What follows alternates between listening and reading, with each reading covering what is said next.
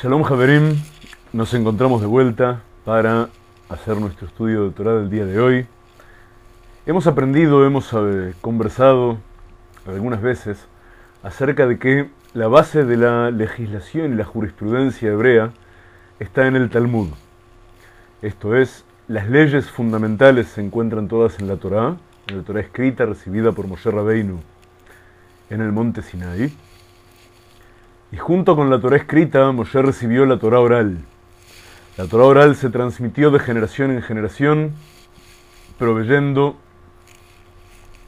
las explicaciones que deben dar lugar a la norma que rige en cada ley. Igual que en cualquier otro sistema legislativo, que de algún lado los sistemas legislativos de los hombres han tomado ejemplo y yo me atrevería a asegurar de dónde ha sido.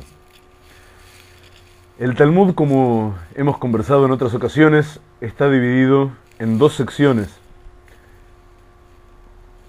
que están bastante separadas en el tiempo. La primera sección es la Mishnah, que provee todas las discusiones de los Tanaítas,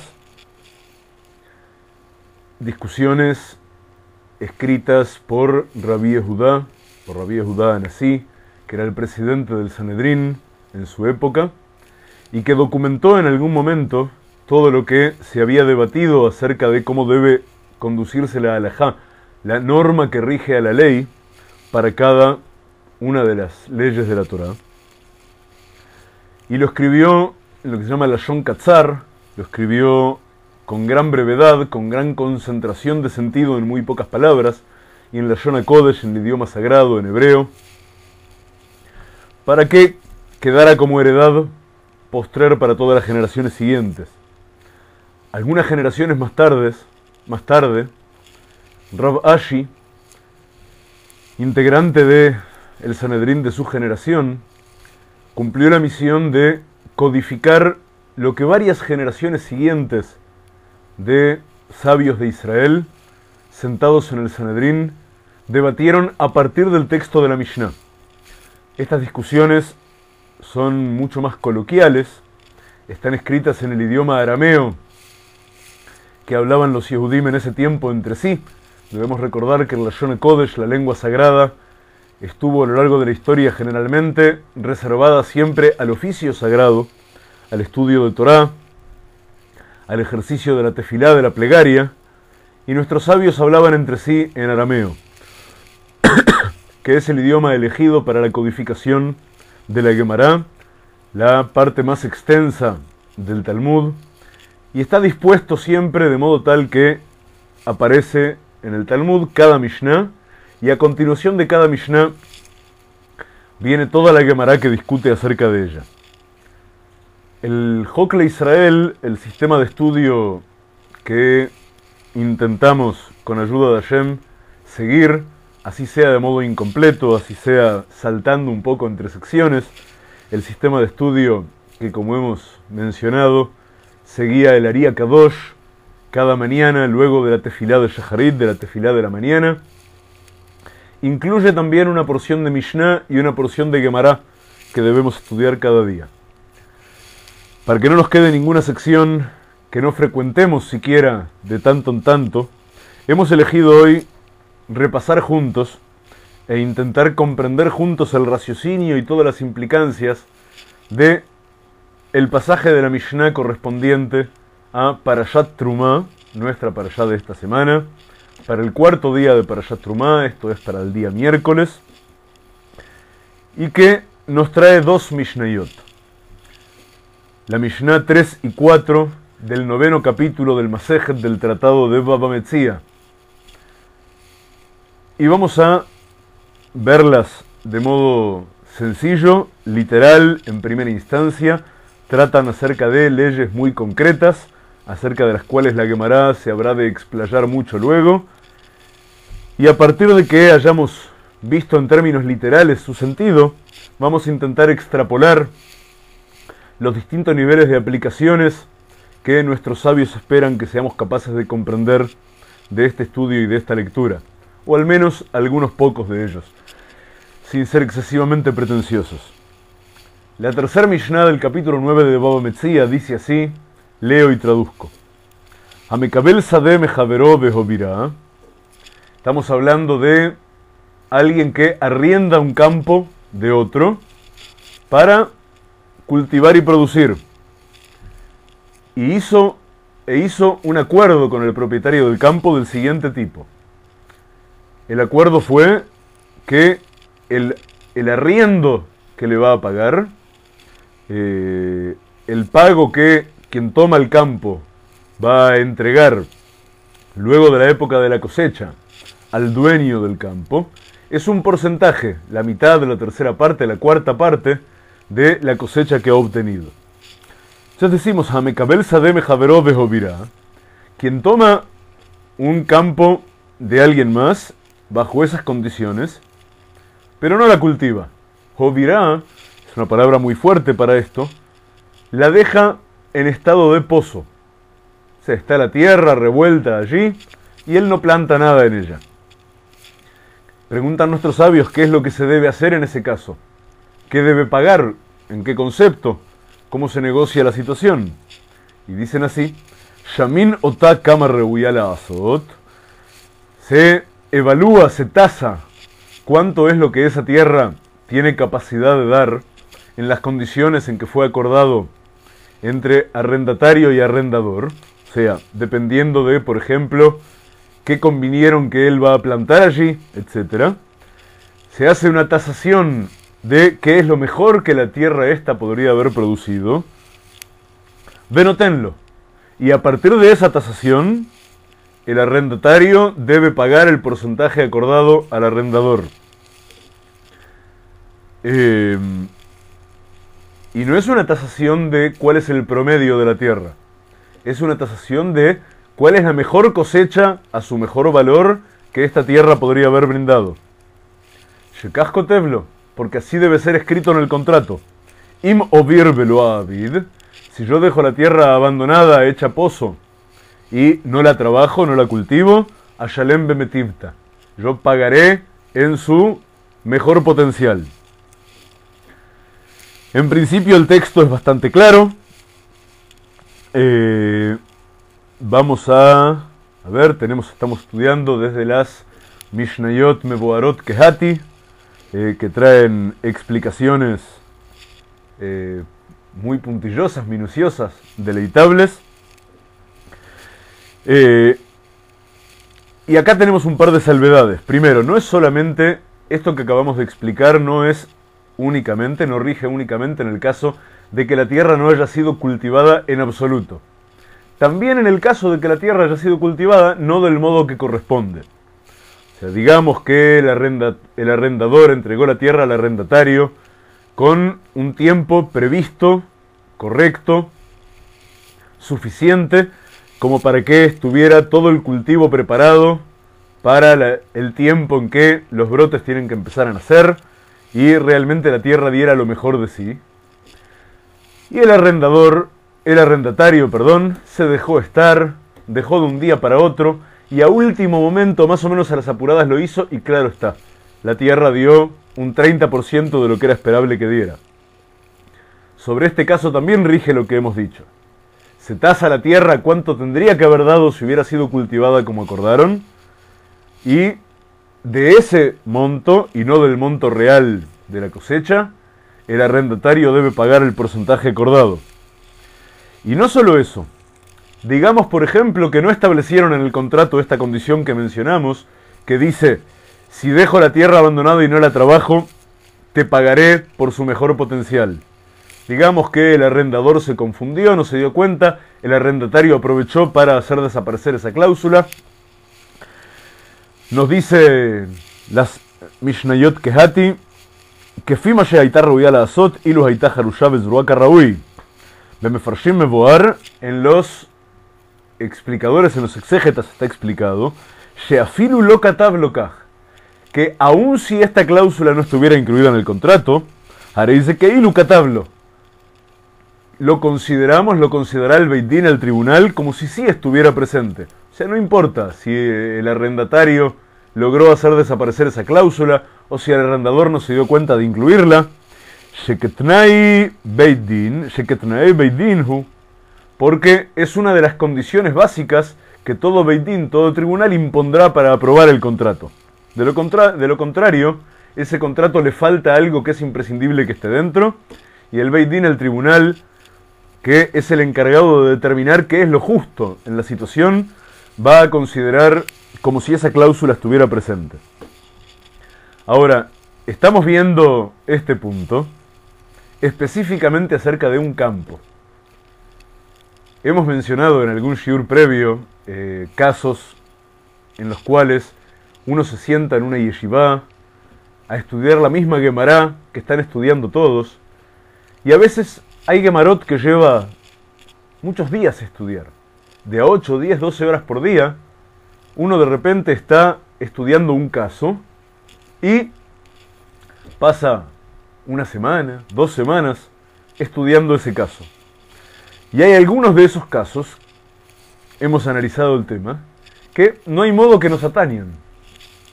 Digamos, quien vive en el centro de una ciudad, una ciudad muy grande, eh, del primer mundo en la que todo está automatizado y es todo tecnología, etc. Lo más de cerca, lo más parecido a una vaca que puede ver en su vida cotidiana, acaso sea un churrasco, o peor aún, una hamburguesa. Y sin embargo, cuando uno estudia Gemara ordenadamente y llega en Nezikin, en el tema de daños producidos de unos a otros, cómo se debe dictaminar, llega el caso, por ejemplo, de un toro que rompe el cerco que separa el campo que él puebla del campo del vecino y cornea a la vaca del vecino. Y ahí se estudia qué es lo que sucede, si hiere a la vaca, si mata a la vaca, si la vaca estaba embarazada, si la vaca estaba embarazada y el ternero que está dentro de ella sobrevive, si no sobrevive, de quién es cada tipo de responsabilidad, si el toro ya era conocido por ser violento, si el toro no era conocido por ser violento, si el dueño del toro había sido advertido, si la vaca estaba donde no debía estar. Y uno de pronto se sienta a estudiar eso, y pasa un día y otro día y otro día y otro día, de ocho horas por día, y llega un momento en que dice, pero caramba, ¿qué puede aportarme esto a mí? Hasta que, y quiero hacerlo muy corto este ejemplo porque lo hemos mencionado ya varias veces, lo que pasa que es, es el primero que me viene a la cabeza cuando me encuentro con el extrañamiento de este punto. Hasta que nos damos cuenta de que el toro no es forzosamente un toro. El toro también es un avión que cae en algún lado. El toro es eh, un conductor imprudente que no debiera estar al volante de un automóvil y que alguien le presta un automóvil y él produce una catástrofe. Este caso del toro es extrapolable a una infinidad de situaciones que responden al mismo esquema, a la misma estructura formal, y que hoy día utilizamos el caso del toro para dictaminar en ellos. Entonces tenemos ahora ante nosotros el caso de un campo. Y el caso de este campo, por ejemplo, vamos a, a dejar que cada quien que ingrese al tema utilice su propia imaginación vamos a mencionar únicamente dos casos, dos situaciones extremas. Se, acostumbra en muchos países que hay personas que compran taxis como inversión y arriendan estos taxis a conductores que deben salir y trabajar sobre el taxi y producir dinero llevando pasajeros de un lugar a otro, y al cabo de cada día o de cada semana o de cada mes, entregar un porcentaje de lo trabajado al dueño del taxi. Entonces, el taximetrista se hizo un sueldo para sí mismo porque le fue provista la herramienta de trabajo y él la utilizó. Y quien hizo la inversión de adquirir el taxi también recibió su ganancia, su rentabilidad a partir del porcentaje acordado con el taximetrista que él recibe de lo que su taxímetro produce. ¿Qué sucede cuando el taximetrista no produce? Tienen un acuerdo de una semana. Ambos saben que el promedio de producción de un taxímetro, vamos a decir, en el aire, no importa, es una cifra X, digamos 100 dólares por día debe producir el taxímetro. Al cabo de la semana, viene el taximetrista y le dice, mira, eh, acordamos que yo te voy a entregar el 25% de lo que yo trabajo, pero bueno, pasaron 7 días, uno es de descanso, pasaron 6 días, en esos 6 días, en vez de hacer 600 dólares, o sea, en vez de tener para entregarte 150, no hice 600 dólares, hice 120 dólares. Entonces toma, he aquí los 30 que te corresponden el dueño del automóvil seguramente no va a estar muy contento y va a empezar a interrogar al taximetrista cómo es si todos hacen más o menos 100 dólares por día que él hizo solamente esa cifra miserable. Entonces van a acudir a un Beit a un tribunal de Rabanim, y el tribunal de Rabanim va a investigar la situación y va a tomar declaración a ambas partes le va a preguntar al taximetrista cómo es que hizo tan poco dinero y pongamos por caso que él va a decir, sí, lo que pasa que no, no trabajé 12 horas por día porque estaba muy cansado este, y dos veces me pasó que estaba parado en una esquina esperando que alguien se subiera al taxímetro y me quedé dormido y me desperté varias horas más tarde, pero eso sucedió solo dos veces. Y entonces el Beitín va a salir a buscar testigos va a llamar testigos de la situación. Y van a venir testigos y van a decir, no, yo vi el taxi este parado sin ni siquiera el conductor dentro, muchas horas en tal lugar. Y otro va a decir, no, si este hombre duerme todo el tiempo. Y otro va a decir, este hombre no, si llevaba a pasear a la familia arriba de este auto. el tribunal va a decir, señor, tú le debes al dueño del automóvil el porcentaje acordado tal como si hubieras producido esos 100 dólares por día. Porque no fue culpa de que Hashem no te mandó los clientes, que no los hayas producido, sino que fue culpa de que tú no hiciste el esfuerzo que era Raúl, el esfuerzo que correspondía que hicieras. Por consiguiente, así es como, como funciona. Tenemos otra situación posible. En la otra situación, realmente, este pobre hombre hizo su mejor esfuerzo, pero caramba, ¿qué le vamos a hacer? Hubo alguna situación especial en la ciudad por la cual casi en esa semana gran parte de la población de la ciudad o gran parte de la parte de la población de la ciudad que suele tomar taxis se fue de la ciudad, se fue a otro lado. Entonces no había pasajeros. El pobre taximetrista andaba paseando por la ciudad todo el día gastando nafta que tenía que pagar él y no se le subía ningún pasajero al taxi. O más aún, hubo catástrofes climáticas de por medio, hubo una situación de guerra, lo aleino, Hashem nos libre, y claro, nadie iba a ninguna parte. O peor, hubo una situación de catástrofe climática, lo aleino, de guerra, o de cualquier cosa por el estilo, lo suficientemente extrema, como para que fuera razonable que el taximetrista no osara salir de su casa. Es más, hasta tuvo la responsabilidad frente al dueño del taxi, el buen Tino, de no dejar el taxi en la calle donde se podía dañar, sino guardarlo en un garaje y hasta pagar el garaje. Pero el pobre hombre no pudo producir un centavo. Entonces el tribunal va a decir seguramente, y sobre esto el, análisis eh, completo lo vamos a hallar en la Gemara correspondiente a esta Mishnah, seguramente entonces el Beitín lo va a eximir ya sea en la totalidad, en parte, etcétera, de ese pago que tiene que hacer. Ahora, todas las leyes de la Torá son legibles, son aplicables, rigen en varios niveles de existencia distintos. Es más, rigen en todos los niveles de existencia, en todos los niveles de la vida.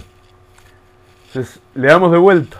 Amikabel Sadome Javeró Behovira el que recibe un campo de otra persona, de su haber, de su amigo, y desperdicia el recurso que tiene entre manos. No cultiva ese campo. Pongamos por caso, el que recibe una vida, recibe una vida, un tesoro, de parte de Akadosh Baruj de parte del Creador. Tiene una misión que cumplir en esta vida. Tiene que hacer un tikkun, tiene que ser una enmienda en la creación. Una enmienda en su alma que se va a proyectar sobre la creación. Y eso incide en el destino colectivo de toda la creación. La vida de cada uno, la vida que el Creador nos dio a cada uno de nosotros, tiene potencial, por un lado, de incidir en la creación toda, en el ticún global, para bien o para no tan bien, o para bien o para mejor, vamos a decir así. Y también puede suceder que, meramente, eh, o sea, que sea para bien o que produzca daño en su vida. Pero uno tiene la responsabilidad por el tiempo que le dieron y en ese tiempo hay que producir algo. En ese tiempo hay que hacer cosas. En ese tiempo, para decirlo en términos de Kabbalah que ya hemos estudiado, uno debe elevar hacia lo alto Maim Nukvin, uno debe elevar hacia lo alto todo eso que está en nuestras manos hacer en honor al Creador, para despertar los Rahamim en lo alto y que descienda fluido sagrado hacia lo bajo. Pero en cambio, en vez de eso, a la hora de rendir cuentas, resulta que el tipo no hizo nada de todo eso. El tipo se encargó de tener una vida lo más placentera posible en términos de placeres físicos, en términos de placeres sensoriales. El tipo se encargó de buscar riqueza, de buscar eh, mucho placer sexual, de buscar mucho placer gastronómico, y llega a lo alto, llega ante el tribunal, y él viene y dice, oh, gracias Ribonosh Olam, gracias amo del mundo por el regalo que me diste, caramba, la pasé tan bien, fíjate que probé de todos los manjares de la tierra, vi los mejores paisajes, paseé, tuve conmigo a las mujeres más hermosas, me rindieron honores porque hice fortuna. Oh, hice una vida completa. Y de pronto se encuentra con que en el tribunal lo miran muy severamente, le dicen, ¿cómo que hiciste una vida completa? ¿Cómo que alguien te regaló algo? No, no, tú no comprendiste. A ti nadie te regaló nada. Tú tenías en consignación cierta cantidad de tiempo hombre, que incluía las herramientas para utilizarlo, incluía un alma, una mente, un cuerpo, incluía el alimento que Akadosh Baruj te hacía llegar cada día, incluía la inteligencia con la que podías comprender, y tú te guardaste todo eso para ti, y no enmendaste nada. No hiciste progresar el mundo de ningún modo. No refinaste tu alma. Tu alma hoy día está mucho más embrutecida que cuando te mandamos para abajo. Entonces va a decir la Im ovir vida shalem bemetivta. Le va a decir, ¿tú te acuerdas que hicimos un contrato cuando tú bajaste a la tierra? En ese contrato decía que tú tenías ese campo, tú tenías ese tiempo. En ese tiempo debías cultivar, debías arar primero, debías sembrar, debías cultivar, debías desmalezar, debías cuidar las plantitas, los retoños que fueran surgiendo, debías ver cómo crecían, y ahora al llegar acá arriba, debías cosechar. Y entonces parte de tu cosecha significaría la parte que corresponde de tu trabajo para la enmienda del mundo. Esto es como si la Dirección Nacional Impositiva me diera la oportunidad de, está bien, no tengo para pagar mis deudas, pero acordamos, no me embargan un campo que me pertenece.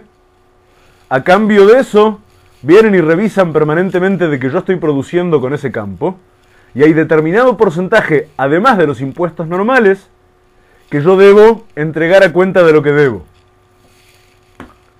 Se le dicen en el tribunal en lo alto, ¿y ahora qué hacemos? Tú no plantaste lo que tenías que plantar, no cultivaste, no tienes nada que cosechar. Y no obstante, como no hiciste el esfuerzo, Señor, tú tienes que pagar los impuestos de todos modos. Y entonces ahí vienen las distintas variantes de lo que le puede suceder a uno después de los 120 años de Hashem, cuando llega al otro lado, cuando termina su paso por este pasadizo que es el mundo terreno, y llega a donde estaba caminando para llegar. Dice, ah, caramba, tú no tienes entonces espigas para entregar que has cultivado en tu campo. Entonces debes, debes pagar de otro modo. Y allí Hashem Ishmor es donde tanto el alma en lo alto como el cuerpo en lo bajo pasan por todo el sufrimiento que pasan para enmendar lo que no hicieron antes, porque al final hay que llegar al Gan Eden, al final hay que llegar a donde tienen que llegar todas las almas. No hay posibilidad de elegir ir a otra parte. La vida eterna, por la eternidad entera, es en algún lugar determinado y tenemos que llegar allí. No nos podemos quedar en el pasillo para siempre. De tal modo eso es lo que sucede cuando nos dan el campo, nos dieron nuestro tiempo y tenemos que utilizar todo lo que está en nuestras manos, todo lo que está en nuestras manos para hacer llegar arriba el porcentaje correcto de la mejor cosecha. Si hacemos eso, el Shefa Kodesh, el fluido sagrado, llegará hasta nosotros también. Y nosotros nos encontraremos con que después de pagar todas las cuentas que debemos, todavía tenemos capital suficiente, capital espiritual suficiente, como para llegar a la eternidad entre los grandes sabios y los tzadikim, a seguir revelando los grandes secretos trascendentes de la creación y vivir en un deleite continuo. Pero si no lo hacemos así, no tenemos derecho a quejarnos luego. Tenemos una segunda Mishnah para revisar que es una variación de la primera. Hay otro modo en el cual uno puede arrendar un campo. Uno le rienda el campo al otro, pero no a cambio de un porcentaje de la cosecha, a cambio de una cifra fija. Tú puedes plantar lo que quieras, tu suerte es tuya, si tienes mucha cosecha vas a ganar mucho más, si tienes menos cosecha vas a ganar mucho menos, a mí me pagas tanto al cabo de la temporada de la cosecha. Y así dice entonces la cuarta Mishnah del noveno capítulo de Baba Metzia. Amekabel Sademe Javeró Akesh.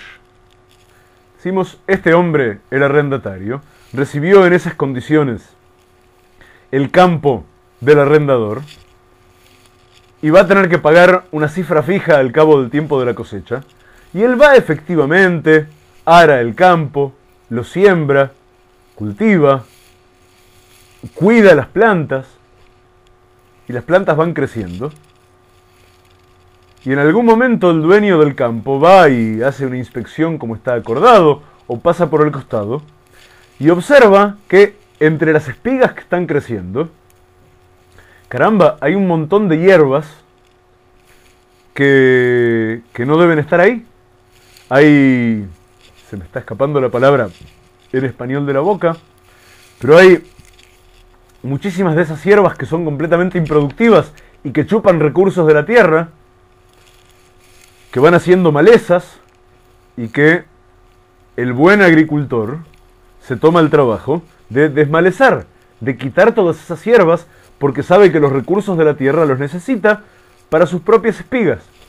Pero digamos que nuestro arrendatario hizo cuentas, llegó a la conclusión de que eso es mucho trabajo, y de que en realidad, sin hacer ese esfuerzo, la cosecha que va a conseguir va a ser suficiente también, también le va a dar satisfacción y va a poder pagar lo prometido y aparte de pagar lo prometido le va a quedar lo que él necesita para subsistir el resto del año. Entonces, él decide que no piensa desmalezar, no piensa sacar esas hierbas, Total, al fin y al cabo, la tierra no es de él. Él necesita las espigas que están creciendo en el medio. Es verdad, van a crecer menos espigas. No. ¿Qué, problema tan grande. Las que van a crecer igual me alcanzan. A amarlo. Y viene entonces el dueño del campo y le dice, pero caramba, tú está bien que plantaste, pero tú tienes que desmalezar. Tú tienes que quitar todas esas hierbas que están creciendo allí en el medio, porque eso chupa recursos de la tierra. Y el que está ocupando el campo, el arrendatario, le dice, Patleja, ¿qué te importa a ti? Joil ten leja, jajora. Le dice, ¿qué te importa a ti que yo no desmalece? Si yo de todos modos la cifra fija que hemos acordado te la voy a pagar. Que yo no vaya a ganar lo suficiente es cosa mía. Dice nuestra Mishnah, no se lo atiende. Digamos que el arrendador entonces lo cita a un tribunal, cada uno de los dos dice lo que tiene que decir, el que el dueño del campo dice, este hombre plantó todo el campo, pero no lo desmaleza, está lleno de hierbas. Y esas hierbas siguen proliferando y no sirven para nada y consumen los recursos de la tierra. El otro se para y dice, señor juez, ¿qué le importa a este señor que yo no desmalece? Cuando en realidad yo decidí que a mí me alcanza con esas espigas. Y yo no reniego del pago que le prometí a este señor, yo le voy a pagar todo. ¿Qué le importa? ¿Qué se mete conmigo? Dice nuestra Mishnah, no se atiende, o sea, de ninguna manera son de recibo las palabras del agricultor que arrendó el campo, las palabras de quien se está negando a desmalezar, mi y lo marlo, porque el otro puede, el dueño del campo, tiene razón en alegar,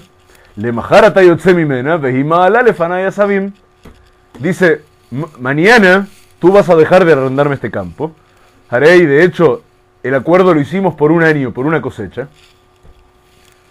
Luego de esta cosecha tú te vas a ir, vas a haber recogido tus espigas, me vas a haber pagado mi parte, pero el campo que yo voy a recibir de vuelta tiene un valor muy inferior al que yo te entregué. Es un campo lleno de malezas, es un campo cuya tierra está mucho más exhausta y tiene muchos menos recursos que lo que tendría si tú desmalezaras. Entonces resulta que no solo voy a tener que hacer un trabajo terrible para lograr volver el campo a su condición previa, sino que en los hechos lo que sucedió es que tú hiciste bajar el valor del bien que yo te arrendé. Entonces de ninguna manera es de recibo. Creo que se comprende con facilidad la cuestión y es equivalente, por ejemplo, vamos a seguir con nuestros automóviles. Rubén le alquila un auto a Shimon y se lo alquila por un mes o algo así y acuerdan un valor de arriendo. Pero Rubén se da cuenta, Rubén pasa, es vecino de Shimon y ve el auto en sus condiciones. Y Rubén se da cuenta un día que el auto duerme siempre en la calle y nadie lo lava y nadie lo limpia. Y otro día pasa justo cuando Shimon se está subiendo al auto y enciende el motor y pasa Rubén por el costado y ve que está prendida la lucecita del aceite, y ve que está prendida la luz del agua, y ve que casi no hay combustible y es un auto gasolero que le va a hacer mal al carburador si, si, si el tanque queda solamente con esas basuritas que quedan en el fondo. Y Rubén se empieza a poner nervioso. Al día siguiente vuelve a pasar y observa que, peor todavía, Alguien pasó por al lado y seguramente con una moneda o algo así le hizo un rayón a su auto. Y Shimon ni se preocupó y al día siguiente llovió y hoy día hay un poco de óxido sobre ese rayón. Y Shimon no hizo nada, no solo no le avisó a Rubén, sino que ni siquiera ni lo masilló, ni le hizo, no hizo nada de lo que se puede hacer para proteger que el auto no se, no se siga dañando. Entonces va Rubén convoca a Shimon al tribunal y dice ante los jueces, señores, yo le arrendé mi, vehículo a este señor, pero este señor me, me está destruyendo el vehículo. Este señor no cuida el auto. Y Shimon alega, señores, si a mí me interesara cuidar mucho el auto, compraría uno para mí. Pero no, yo lo que hago es arrendarlo. Incluso es más, digo, Creo que el precio que acordamos con Rubén es caro, pero yo lo acepté porque no me interesa preocuparme por alquilarlo, por preocuparme por cuidarlo. Yo lo alquilé por un mes, lo uso, le pago todo lo que le tengo que pagar, se lo devuelvo y listo. El tribunal de ninguna manera va a aceptar, por supuesto, el argumento de Shimon. El tribunal va a determinar seguramente que Shimon debe pagar el alquiler y aparte del alquiler debe pagar los daños. Y si hay un caso intermedio como ser que el auto sufrió algún daño pero en realidad Shimon no es el responsable, y no solo no es el responsable, sino que en realidad sí hizo lo que podía estar en sus manos, ya fuera para evitarlo, ya fuera para repararlo, seguramente como suele suceder, van a llegar a una pshará, un punto intermedio, en el cual hay una parte de participación de Shimon en la reparación de los daños, que será uno u otro porcentaje dependiendo del caso, y el resto dependerá del seguro, del seguro de Shimon, del seguro de Rubén, del propio capital de Rubén, etc. Y así es como va a operar. Nosotros aprendimos en la Mishnah anterior algo que vale la pena agregar ahora. En la Mishnah anterior, cuando el arrendatario debía entregar un porcentaje, hay un único caso que no mencionamos.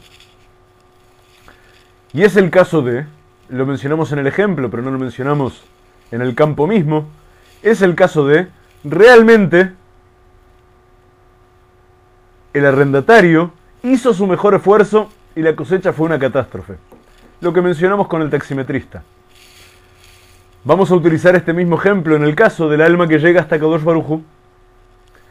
Y el alma que llega hasta Kadosh Barujú realmente el tipo en su vida, en ese tiempo que es el campo que, que Hashem nos dio para cultivar, él hizo lo mejor que estaba en sus manos hacer.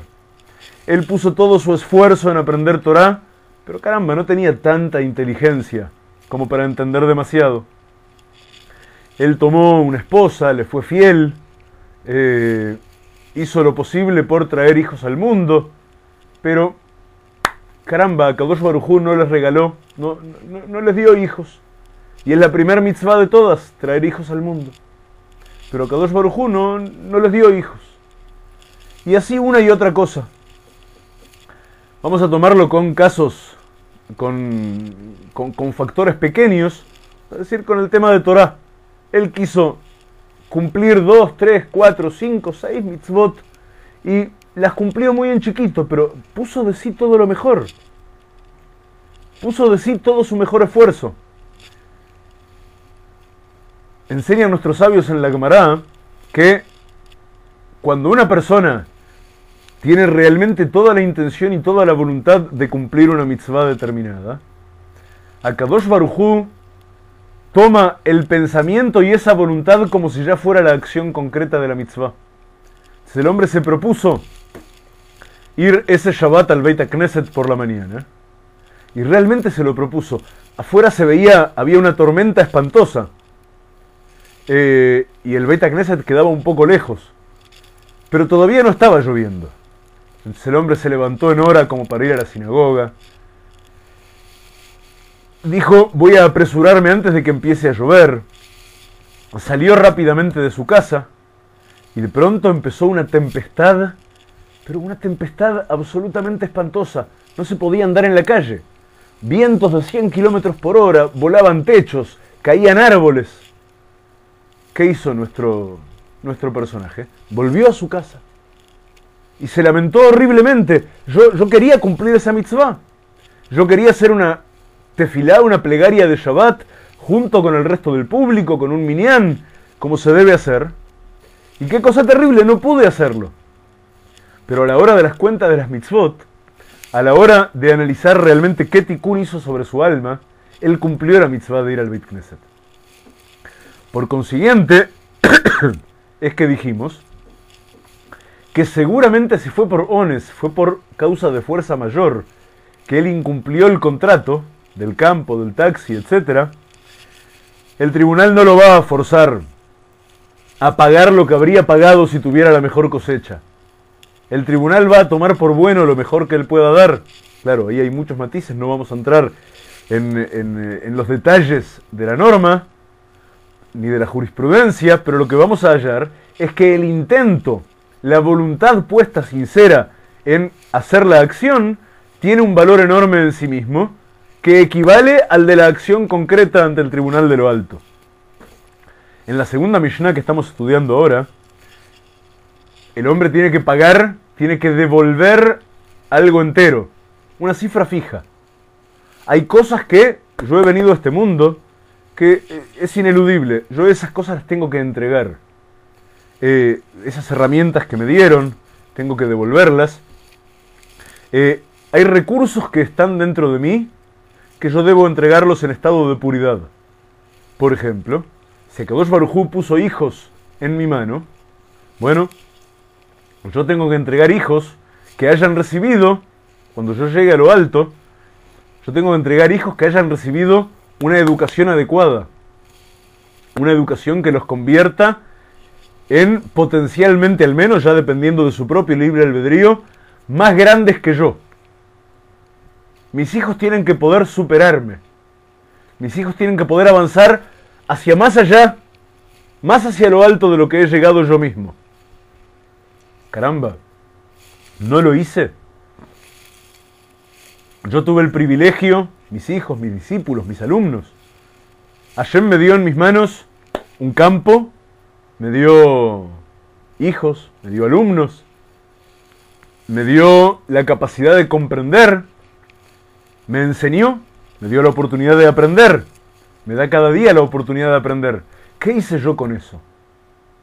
¿Cómo yo no le transmití a mis hijos, eh, a mis alumnos, lo que yo aprendo? Y entonces, ¿qué es lo que tengo para entregar? ¿Qué es lo que tengo para pagar? Pero yo estoy obligado a pagar. Si yo estoy obligado a pagar, estamos en el mismo caso de la Mishnah anterior. Lo que mis hijos van a quedar por debajo de mí, Hasbe Jalila. Pero eh, en un caso así, o lo que mis discípulos van a quedar por debajo de lo que potencialmente podrían haber estado si a mí me pusieron para enseñarles y me enseñaron a mí lo que yo tenía que enseñarles a ellos. Lo que mis hijos o mis alumnos se hayan perdido de aprender por culpa de mi desidia, lo que ellos no hayan crecido porque yo fui egoísta, eso va a mi cuenta, no a la de ellos. Y eso en lo alto, al llegar en el tribunal, a mí me van a decir, Señor, usted tiene que pagar esto. Usted piensa que nosotros le enseñamos, le dimos la oportunidad de aprender para que usted se guardara para sí del aprendizaje de la verdad que, que obtuvo. De ninguna manera. Usted tiene que pagar esa cuenta. Y estamos otra vez en ese circuito en el cual es ya el alma perdida la oportunidad de hacer las cosas en el tiempo, en el campo que se nos entregó, con las herramientas que se nos entregó. Ahora es el alma la que debe pagar y eventualmente volver a intentarlo, volver a descender, volver a hacerlo. Y eso, a Filu me atrevería a decir, aún eso solo en el mejor de los casos. Valgan estos dos pequeños aprendizajes de la Mishnah para que intentemos con ese tono de Hasidut que torna todo aprendizaje de Torah tan dulce, intentemos aprender a amar cada área de estudio de la Torah. Por más secas que algunas parecen a veces, si uno no tiene vocación de, estudiar derecho, de estudiar jurisprudencia, eh, sobre todo si uno tiene ese deseo de llenar el alma con la miel de los secretos de la Torá, con las mieles de la Kabbalah, y de pronto uno se encuentra con que la Mishnah habla de las condiciones del arrendamiento de un campo, y no, y eso a mí qué me importa, a mí dame Kabbalah, dame Sefirot, dame ángeles que suben y bajan, enseñame nombres sagrados. Muchas veces nos encontramos en situaciones así.